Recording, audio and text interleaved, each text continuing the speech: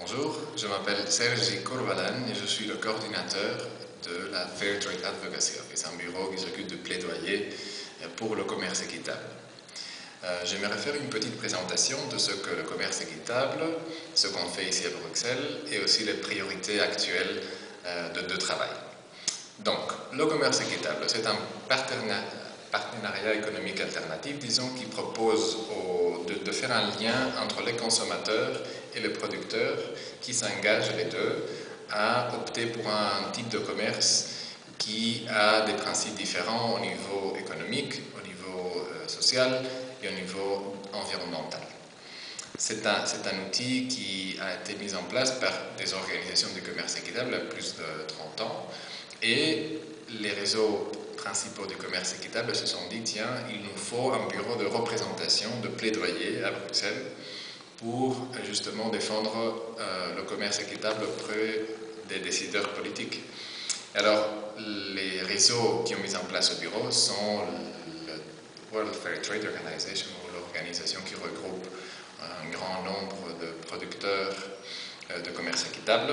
Il y a aussi Flow, qui est en fait l'organisation, le réseau qui s'occupe de toutes les initiatives de labellisation, toutes les étiquettes euh, qui existent dans plusieurs pays, comme Max Avelar par exemple. Il y a aussi l'EFTA, la Fédération européenne du commerce équitable, et nous représentons aussi le réseau européen des magasins du monde. Ça, c'est, disons, le mouvement de commerce équitable. Et le but, disons, de ce bureau ici à Bruxelles, c'est, comme on disait, euh, principalement de, de, faire du plaidoyer auprès des décideurs politiques au niveau de l'Union européenne, mais, je vais en parler avec un peu plus de détails, mais on s'occupe aussi évidemment de, des questions purement internationales. Un exemple, c'est que nous sommes engagés dans un processus très intéressant de discussion avec nos partenaires au Sud, les organisations de commerce équitable en Asie, en Amérique latine et en Afrique, pour vraiment identifier quels sont les obstacles que les petits producteurs ont pour pouvoir gagner leur vie, euh, mais d'une façon avec des conditions équitables. C'est-à-dire, nous ne sommes pas pour un commerce qui serait commerce à tout prix si on ne respecte pas des conditions minimales au niveau de, économique, au niveau de, de, de conditions de droit de travail, d'environnement. Et, c'est très important cette analyse, et c'est vraiment une analyse très, très, très, très intéressante pour nous aussi. Ça nous donne alors des idées pour le plaidoyer que nous, avons, que nous faisons ici à, à Bruxelles. Nous sommes aussi engagés au niveau international dans un dialogue avec plusieurs euh, organisations sur comment mieux faire le lien entre les producteurs et les consommateurs.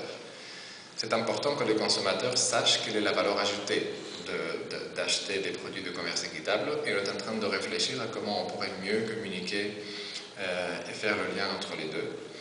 Et alors, comme j'ai dit, bon, finalement, euh, au niveau politique, une des priorités, c'est l'Union européenne. Et alors, l'Union européenne, qu'est-ce qu'on demande à l'Union européenne? Bon, maintenant, c'est un moment qui est très important au niveau politique du, du fait qu'il y a un nouveau Parlement européen et bientôt, on aura une nouvelle commission.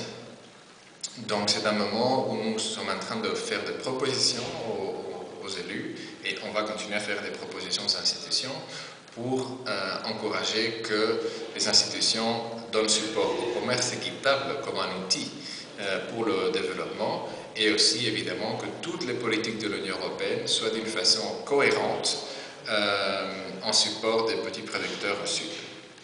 Un exemple de ce type de plaidoyer, c'est une publication qu'on vient de, qui s'appelle en anglais Aid for Trade, donc aide au commerce. Est-ce que l'Union européenne est en train d'aider les petits producteurs?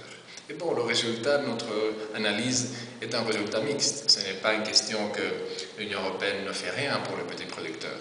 Tant l'Union européenne, la Commission, comme les États membres, par exemple, euh, ont l'aide aux petits producteurs comme un de leurs objectifs, mais pas toutes les stratégies nationales ou de la Commission réussissent à avoir le même impact.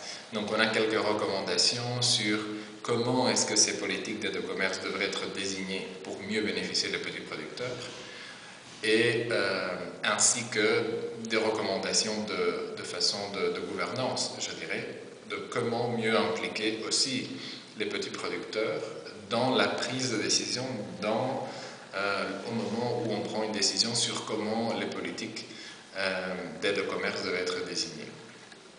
Ça, c'est un exemple des activités qu'on fait. Si vous avez plus d'informations, vous allez voir N'hésitez pas à consulter notre site web et on serait ravis de, de répondre à toutes questions que vous avez. Merci.